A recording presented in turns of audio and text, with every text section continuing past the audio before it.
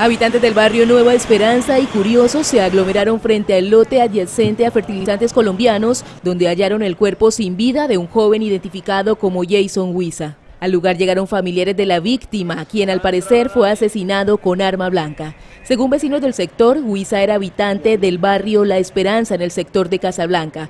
Las autoridades hicieron presencia en el lugar para hacer el respectivo levantamiento del cadáver. Sobre el particular, la Policía Nacional asegura que no tiene mayores detalles del asesinato. Encuentran en este momento en el procedimiento, pues no tengo información al respecto. Eh, vamos a ver qué fue lo que pasó allá en el sitio.